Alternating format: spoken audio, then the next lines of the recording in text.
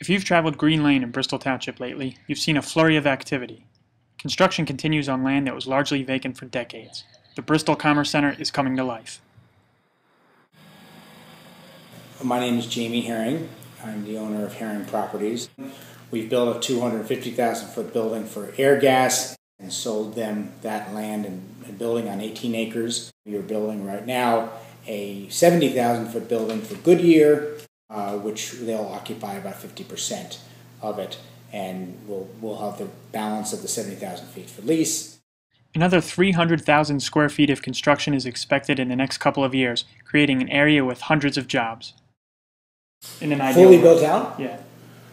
Oh, it could easily be. Um, it could easily be uh, 800 employees, 900 employees. When 3M was in full swing, I think they had 12, 1400 employees.